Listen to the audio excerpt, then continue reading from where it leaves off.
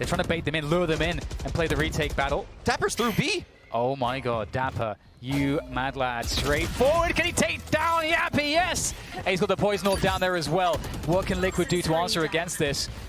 dapr has that backside control, and Spike needs to make his way across. dapr with another one. Can he get a... Oh, he's actually done it. Three kills. Unbelievable performance at the backside with that... Fight, you just run in B dapr, you just lurk. it's actually brilliant the way Sentinels played this round. And he goes down to 33 HP on that first battle, then gets two more kills, two more 1v1s. That's outrageous.